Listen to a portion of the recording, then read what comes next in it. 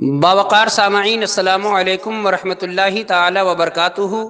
الحمد للہ الذي لا مانع لحکمه ولا ناقد لقضائه والصلاة على سید الانبیاء واحبابه المعاردین لأعدائه بسم اللہ الرحمن الرحیم۔ بلغ العلا بکماله کشف الدجا بجماله حسنت جمیع خصاله صلو علیہ وآلہ مٹ گئے، مٹتے ہیں، مٹ جائیں گے عادہ تیرے، نہ مٹا ہے، نہ مٹے گا، کبھی چرچا تیرا۔ اور تو گھٹائے کہ کسی سے نہ گھٹا ہے، نہ گھٹے، جب بڑھائے تجھے اللہ تعالی تیرا۔ مدثر رضا برکاتی رضوی، آپ تمامی حضرات کی خدمت میں حاضر ہے۔ کچھ عرض کرنے سے پہلے ادب سے گزارش ہے کہ آپ ہمارے رد وہابی نیٹ ورک کو سبسکرائب کریں تاکہ عقائد اہل سنت، نظریات اہل سنت ہم آپ کی دہلیز تک قرآن و سنت کی روشنی میں پہنچا سکیں۔ آپ کے اسکرین پر ایک کتاب ہے، کتاب کا نام ہے تقویت الایمان۔ لکھنے والا دیوبندیوں کا روحانی پیشوا، دیوبندیوں کا سب سے بڑا امام اسماعیل دہلوی۔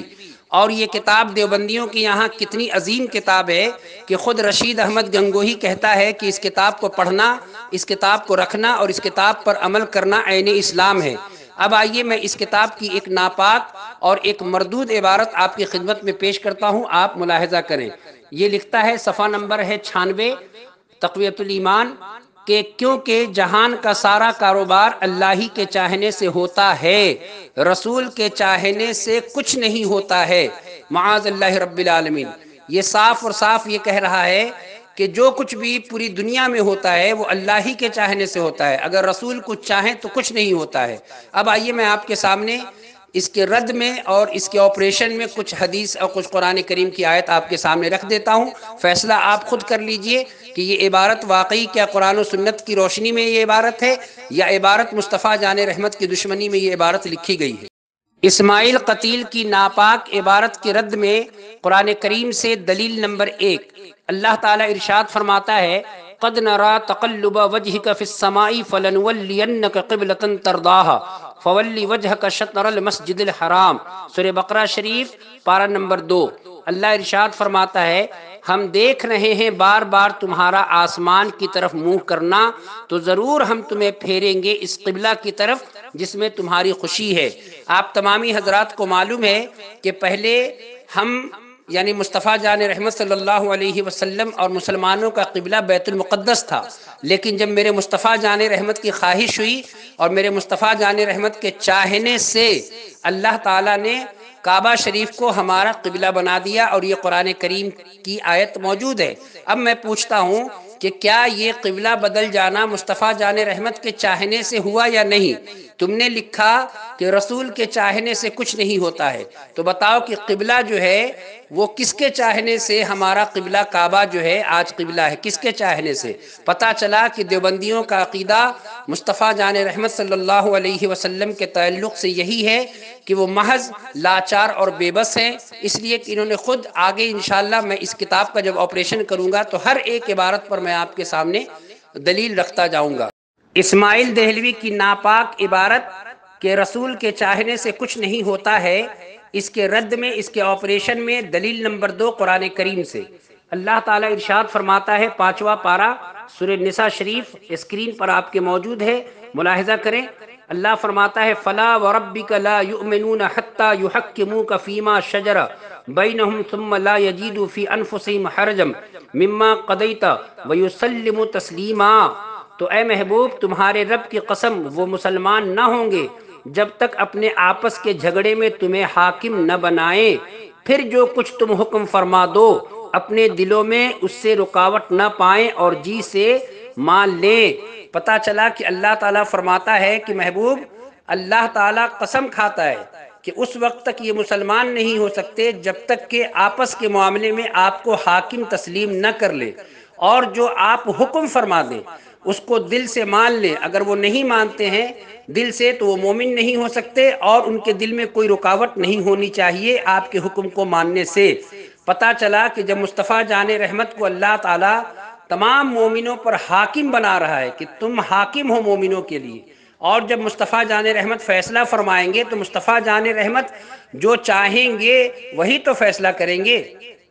اسماعیل قتیل کی ناپاک عبارت کے رد میں حدیث پاک سے دلیل نمبر تین۔ اللہ تعالیٰ کے محبوب صلی اللہ تعالیٰ علیہ وسلم نے حج کی فرضیت کو بیان کیا۔ اسکرین پر آپ کے حدیث پاک موجود ہے۔ مسلم شریف کتاب الحج۔ اللہ کے نبی ارشاد فرماتے ہیں، یا ایوہ الناس، قد فرض اللہ علیکم الحج فحجو فقال رجل اکل عامن یا رسول اللہ صلی اللہ علیہ وسلم۔ فسکت حتی قالها سلاسا فقال رسول اللہ صلی اللہ علیہ وسلم، لو قلت نعم، لوجبت ولم استطعتم.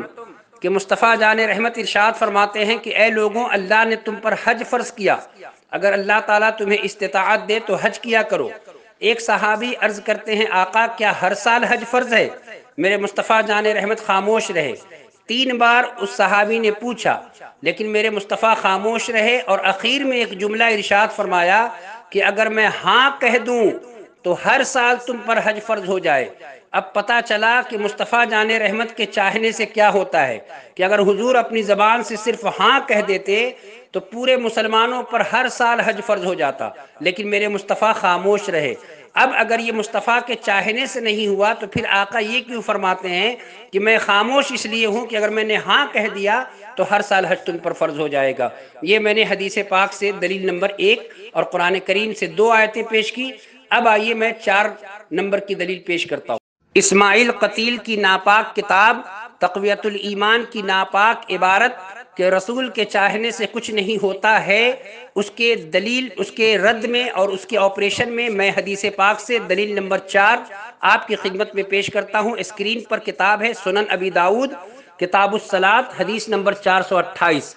میرے مصطفیٰ جان رحمت نے نماز کی فضیلت اور نماز کی افضلیت کو بیان کیا۔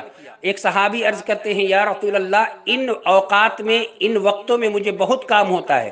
مجھے کوئی ایسا جامع حکم عطا فرما دیں جو میرے لیے کافی ہو۔ یہ حدیث پاک اس طرح ہے، ان هذه ساعات لي فيها اشغال فمروني بامر جامع اذا انا فعلته اجزاء عني فقال حافظوا على الاسرين وما كانت من لغتنا؟ فقلت وما الاسران؟ فقال صلاه قبل طلوع الشمس وصلاه قبل غروبها.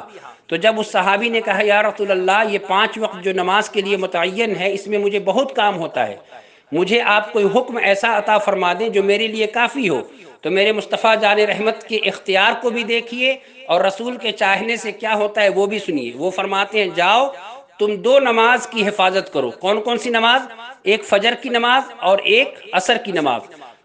تین نماز کے لیے اس صحابی کو آقا صلی اللہ علیہ وسلم نے رخصت فرما دیا کہ جاؤ یہ تین نماز تمہارے لیے جو ہے میں رخصت کر دیتا ہوں، دو ہی نماز تم پڑھا کرو۔ اب بتاؤ کہ یہ رسول کے چاہنے سے نماز میں کمی ہوئی کہ نہیں؟ اور رسول کے چاہنے سے اس صحابی کو عافیت اللہ تعالیٰ کے فضل و کرم سے مصطفیٰ جان رحمت نے دیا کہ نہیں؟ کہ تمہارے لیے یہ حکم ہے کہ تم عصر اور فجر کی نماز پڑھو گے، تمہارے لیے کافی ہوگا۔ باوقار سامعین، میں نے قرآن کریم کی دو آیت اور دو حدیث پاک سے مثل آفتاب یہ بات میں نے ثابت کر دیا ہے کہ مصطفیٰ جان رحمت اگر چاہ دیں تو ہمارا قبلہ بدل جائے۔ مصطفیٰ جان رحمت چاہ دیں تو ایک صحابی پر تین وقت کی نماز معاف ہو جائے۔ مصطفیٰ جان رحمت چاہ دیں تو ہاں کہہ دیں تو ہر سال مسلمانوں پر روزہ فرض ہو جائے۔ اب آئیے میں آپ کے سامنے ایک اخیر دلیل دلیل نمبر پانچ پیش کر کے اپنی بات میں ختم کرتا ہوں۔ اللہ تعالیٰ قرآن کریم میں ارشاد فرماتا ہے وسط شہید شہیدینی مر رجالکم اور دو گواہ کر لو اپنے مردوں میں سے۔ یہ شریعت کا اصول ہے اور قرآن کریم کا حکم ہے کہ اگر کوئی معاملہ پیش آ جائے، جہاں گواہی کی ضرورت پڑے، وہاں دو گواہ جو ہے آپ کو اور ہم کو رکھنا چاہیے۔ اب آئیے میں آپ کے سامنے مصطفیٰ جان رحمت کی ایک حدیث پاک پیش کر دیتا ہوں اور آپ کو بتاتا ہوں کہ اللہ تعالیٰ کے محبوب کے چاہنے سے کیا ہوتا ہے۔ سنیے، یہ حدیث پاک ہے سنن ابی داود شریف میں اور کتاب القضاء ہے۔ حدیث پاک نمبر ہے تین ہزار چھ سو سات۔ اللہ کے محبوب صلی اللہ علیہ وسلم نے ایک دیہاتی سے گھوڑے کا سودا کیا۔ دیہاتی لالچ میں آ گیا اور زیادہ پیسے کی وجہ سے اس نے دوسرے کو بیچنا چاہا۔ مصطفیٰ جان رحمت فرماتے ہیں کہ تم نے تو کہا تھا مجھے دینے کے لیے، تو اس نے کہا کہ اگر آپ کو دینے کے لیے کہا تھا تو آپ کوئی گواہی پیش کریں۔ تو اس وقت حضرت خزیمہ رضی اللہ تعالی عنہ موجود تھے۔ تو حضرت خزیمہ رضی اللہ تعالی عنہ فرماتے ہیں کہ یا رسول اللہ، میں گواہی پیش کرتا ہوں کہ آپ نے گھوڑے کا سودا کیا ہے۔ تو میرے آقا نے پوچھا، فاقبل النبی صلی اللہ علیہ وسلم علی خزیمت فقال، بما تشہدو کہ اے خزیمہ، تم نے گواہی کیسے پیش کی جبکہ تم وہاں موجود نہیں تھے؟ تو حضرت خزیمہ فرماتے ہیں، فقال بے تصدیق یا رسول اللہ، مصطفیٰ جان رحمت، آپ نے گواہی پیش کر دی آپ کی صداقت پر، اس لیے کہ حضور آپ صادق الوعد الامین ہیں، تو ہم نے آپ کی صداقت پر جو ہے گواہی دی ہے۔ تو میرے آقا کیا فرماتے ہیں؟ کہ فجعل النبی صلی اللہ علیہ وسلم شہادت خزیمت بشہادتی رجولین کہ اے خزیمہ، آج سے تمہاری ایک گواہی دو گواہوں کے برابر سمجھی جائے گی۔ اب یہ حکم صبح قیامت تک کے لیے تمام مسلمانوں کے لیے نہیں تھا۔ مصطفیٰ جان رحمت کے غلام حضرت خزیمہ کے لیے تھا اور اللہ نے قرآن کریم میں فرمایا دو گواہ۔ لیکن مصطفیٰ جان رحمت نے قرآن کریم کے اس آیت سے اور اس حکم سے اللہ نے اپنے محبوب صلی اللہ علیہ وسلم نے اپنے خزیمہ کو آزاد کر دیا کہ خزیمہ تمہاری آج سے ایک گواہی جو ہے دو گواہوں کے برابر سمجھی جائے گی۔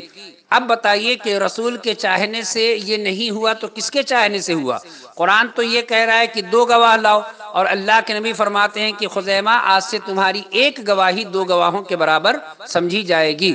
باوقار سامعین ایک طرف اسماعیل دہلوی کی کتاب تقویت الایمان رکھیے اور دوسری جانب اللہ کے کلام کو رکھیے اور مصطفیٰ جان رحمت کی حدیث پاک کو رکھیے اور خود فیصلہ کر لیجیے کہ یہ کتاب ایمان کو تقویت دینے والی کتاب ہے یا ایمان کو برباد کرنے والی کتاب ہے۔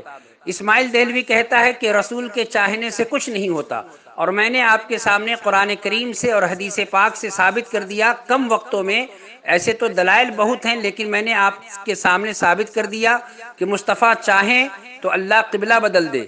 مصطفیٰ چاہیں تو اللہ تعالی ہر سال حج کو فرض فرما دیں مصطفیٰ چاہیں تو ایک صحابی کو تین وقت کی نماز پڑھنے سے جو ہے اس کو رخصت فرما دیں مصطفیٰ چاہیں تو خزیمہ کی ایک ادنا گواہی دو گواہوں کے برابر سمجھی جانے لگے۔